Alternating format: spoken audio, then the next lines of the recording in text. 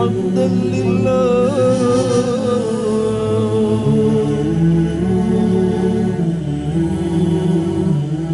سبحان الله.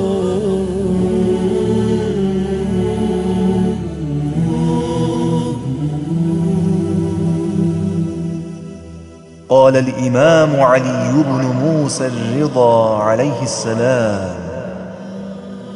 الناس لو علموا محاسن كلامنا لاتبعونا.